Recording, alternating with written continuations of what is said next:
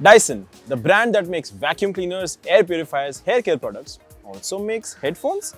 These are the Dyson OnTrac headphones. Technically, not the first audio product from the British brand. Dyson had these unique looking noise cancelling headphones called the Dyson Zone last year, which had an air purifying visor, which we also demoed on Tech Today as well. But these are proper out and out headphones and they come with the usual Dyson price tag of rupees 44,900. Should you really be shelling out this much money on Dyson headphones? I spent a few days wearing these to bring you the answer to this question.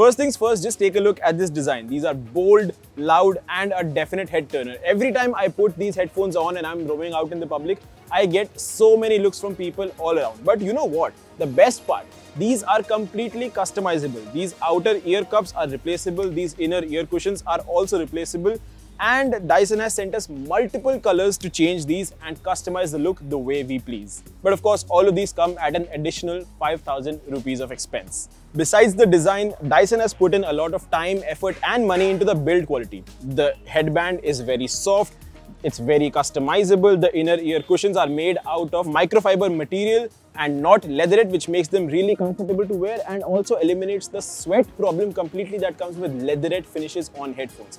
However, all of this extra engineering comes at the cost of weight. They are 451 grams in weight. Let's talk sound quality. These headphones sound very crisp, very balanced, very clean audio, instrument separation is great, but overall the output was pretty flat. We Indians are bass lovers and when I wanted to hear some bass heavy tracks like Fred again's Places to Be on these Dyson OnTrac headphones, I felt that these were lacking a bit. In the bass department especially, even when you turn on the enhanced EQ mode on the Dyson app, the headphones just don't seem to cut it. What I did like though was the active noise cancellation. Traveling in Mumbai can be a loud and stressful experience and when I put these Dyson OnTrac headphones while traveling in the Mumbai trains, almost all of the chatter and the noise around me was shut down. I mean, yes, there was that odd noise of the train passing by me, but overall, these did a pretty good job. I'm fairly confident that on long flights, these would be a great companion.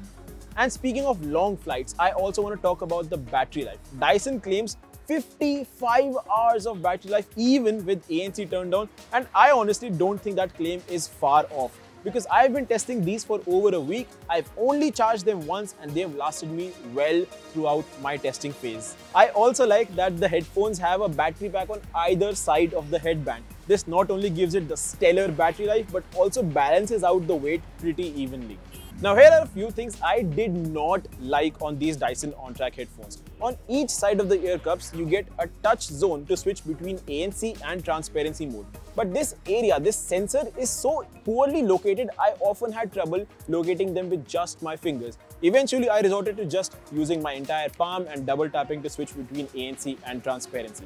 Another thing I did not like was the Dyson app on the phone. It's a pretty bare bones experience. You only get the toggles between ANC, transparency and switching that entirely off and the EQ has just three options which is not customizable either.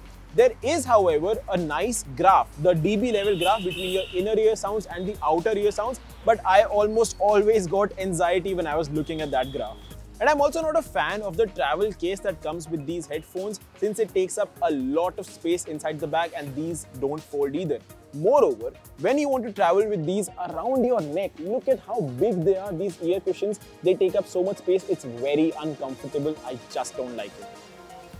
Okay, so at the end of the day, if you really want to buy these Dyson OnTrac headphones, what you will get is a pretty decent audio experience, probably one of the best looking headphones on the market but overall you may not be as satisfied as you want to be.